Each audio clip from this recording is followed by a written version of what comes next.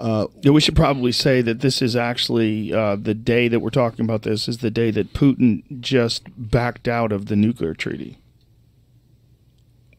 publicly, which is not good. with Joe Biden going to Yes. Kiev and pledging his undying love to, and I'm going to say this, which is very painful. I think Zelensky is a complete menace. Why do you think that? He's romantic, he's telegenic, he's brave. Uh, we can talk about whether he got set up in a coup or you know who he really is. He was an actor, et cetera, et cetera. But at some point, I think I heard him. I had to go back to like the Russian and Ukrainian speeches in order to try to. I don't speak much Russian. I don't speak any Ukrainian, but they're closely related languages. And he calls for like pre- preventivni udari, like preventative strikes. I'm like, huh? You know, this is a while. This is a while ago. And I thought, why is this person allowed to address Congress? You have somebody who, and, and, I want to be very clear about this. Um, I really find it disgusting what Vladimir Putin did uh, invading Ukraine. But if you look historically at the killing and the borders of Eastern and Central Europe, they have gone back and forth like nobody's business. When you ask somebody like me, uh, an American Ashkenazi Jew, where did your family come from? You always get the same weird response. It's like, oh, it was a part of Belarusia that went back and forth between Poland, Ukraine, Mol- Moldova, you know, Lithuania, because it's fluid, right? And so when we say, you know, we, we, we respect the territorial integrity of Ukraine, we were fighting right now in Lvov, like the Ukrainians were fighting in Lvov, eight seconds by hypersonic missile from Article 5 territory since 1999 in Poland. And I realized how crazy we got. Um, I was in Providence, Rhode Island with my son, and I get this alert on my phone, and it says, Two people are dead in Poland uh, with, with a presumptive strike by a Russian missile. I'm thinking, did, did I read two Polish people dead in an Article 5 full NATO member since 1999 with a Russian missile? Because I knew we were fighting way too close to this border.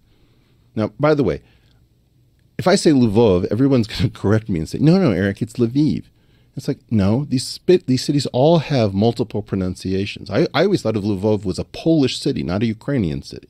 And ironically, I believe Lvov is the birthplace of Stanislaw Ulam, who came up with the Teller Ulam thermonuclear design.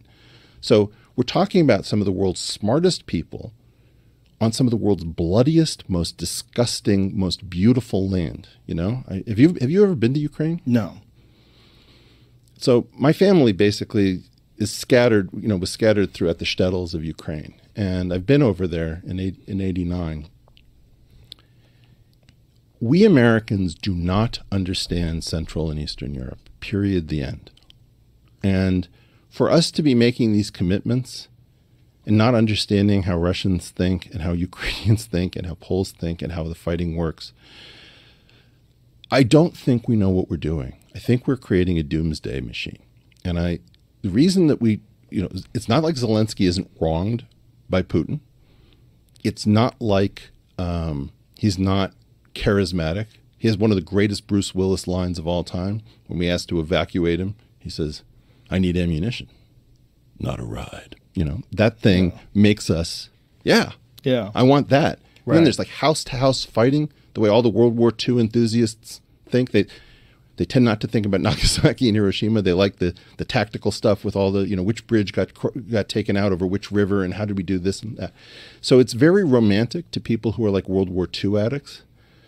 We do not realize how deep the trouble we're courting is, and I don't think we realize how dangerous it is if we are going to every time there's a border dispute go to a thermonuclear stand, you know, standoff. It's just Russian roulette with smaller and smaller numbers of empty chambers. And I don't know what this is. I don't know whether we, we have 30 years to play this game or three or three months. But I learned that day last year in 2022. Um, nobody around me in Providence, Rhode Island was reacting. Everybody's just going about. It was like a normal day. It's like I'm I'm increasingly, Joe, believing that I am sane and that the world is crazy. And normally I take that as a cue that maybe I need to get some sleep. No, I think we're actually just going crazy. I think that those of us who actually get how risky this is need to speak up because it's not fun. The entire apparatus will tell you that you're soft on Putin and you're an appeasing Chamberlain uh, wannabe.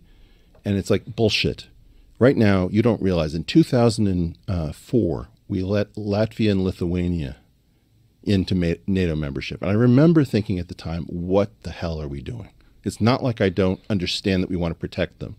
It's not like I don't understand that you want to say that they're independent nations, but these were former Soviet republics. And there's two ways of thinking about it. You can put on one set of glasses and say, well, these are nations that get to decide what they want, and who's to tell them what to do. And then there's another thing called spheres of influence, where it's like, that's the Russian sphere of influence. If you are not playing with both of these sets of lenses, you're not playing the game. And the number of people who just have one set of these glasses on, right? They're only seeing the infrared or they're only seeing the ultraviolet. It's like, no, you, you need to oscillate back and forth and understand what you're doing. So I think I think Zelensky, and I'm scared to say this because I know I'm going to get just nothing but hate we created a situation by pretending that we didn't understand the spheres of influence glasses. We very well understand the sovereignty glasses. And we are now creating a doomsday machine that we do not understand. And the world is going to go multipolar, and we don't have the skill to play this game, period.